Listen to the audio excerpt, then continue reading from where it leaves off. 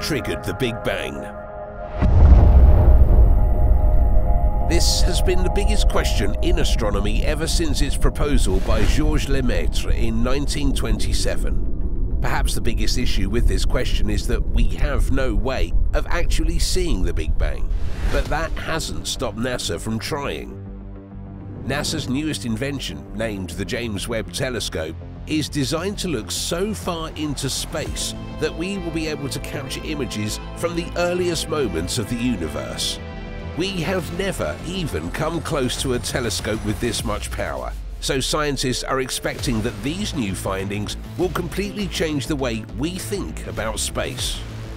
So, just how powerful is the James Webb Telescope? And most importantly, how will this futuristic technology give us our best bet at discovering the origins of the universe? After 20 years and $9.7 billion of development, the James Webb Telescope is finally in space. That may seem like a big number, but when you think about how powerful this telescope really is, then it starts to make a lot more sense. The James Webb has the ability to help scientists look back 100 to 200 million years after the Big Bang. This will grant them access to so much more information about how stars are formed and what makes all cosmic entities work. Having a better understanding of the Big Bang event will allow scientists to finally get a glimpse of the early universe.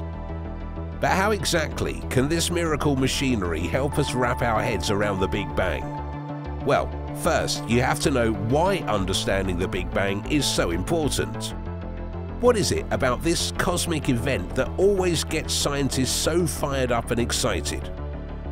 The basic answer is that it's because the Big Bang is what started it all. If you want to understand the universe, you need to understand how it started. For all we know about the Big Bang, there is so much more still in the dark about this historic event that started, well, everything. Understanding the Big Bang is understanding space, science, and life. You can see why scientists would want to have a firm grasp of it.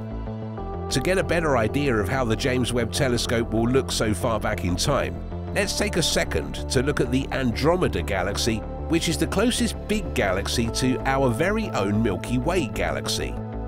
Andromeda is close to us, but it is still millions of miles away from home. Yet, you can still view it with your naked eye or with the help of telescopes. But when you view the Andromeda galaxy, you aren't actually looking at it in the present time. What you are seeing is how it was 2.2 million years ago, the reason for this is because it takes that amount of time for light to travel all the way from Andromeda to Earth. It's sort of like time traveling without ever having to leave our own planet. Because of this, scientists have been able to look at far more distant galaxies, which means they are going further and further back in time.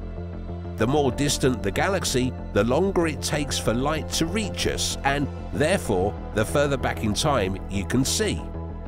As of now, the most distant galaxy ever discovered, GNZ11, was spotted by the Hubble telescope and gave NASA a great look at it a long, long time ago. To many, GNZ11 looks nothing more than an unremarkable red blob. But to scientists with their incredible instruments, they are seeing light from 13.4 billion years ago, which is about 300 to 400 million years after the Big Bang. In terms of space exploration, it doesn't get much closer than 400 million years after the Big Bang. Hubble's discoveries have allowed scientists to see how stars are formed and have led them to question some of the time-tested assumptions made about space and stars. Now, as great as the Hubble is, you need to remember that the James Webb Telescope is, in many ways, light years ahead of the Hubble. It leaves the iconic Hubble in the dust in terms of what it can see and in terms of its tremendous power. For example, take the fact that the Hubble telescope primarily observes the universe at optical and ultraviolet wavelengths.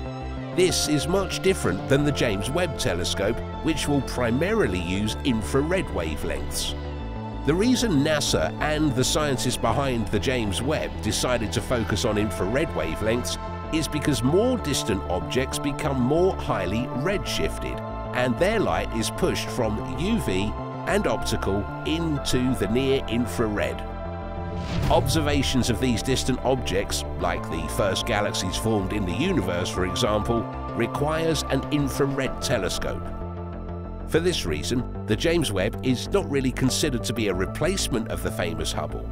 Instead, think of it as its predecessor that will give us new and different views of the universe than we could see before.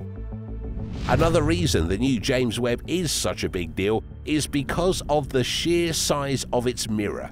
Coming in at 6.5 meters tall, or 22 feet, the 18 gold-plated hexagonal segments that complete the mirror is almost three times the size of Hubble's mirror.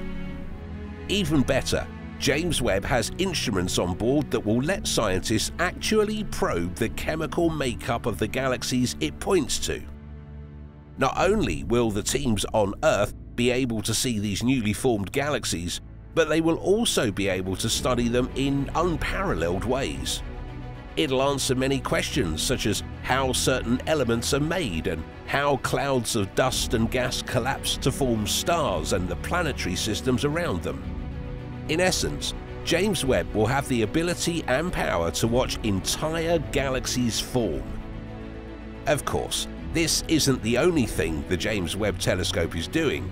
In fact, James Webb was made for exploration tasks far bigger than just looking back to the period when the Big Bang happened. James Webb is also going on a long search for observations about life beyond Earth. The telescope is going to be studying the atmospheres of thousands of exoplanets floating around the galaxy. James Webb will be examining the habitable zones of distant stars, looking for regions that could contain the building blocks of life. This isn't because we are planning to rocket away from Earth and plant our flag in any of these planets.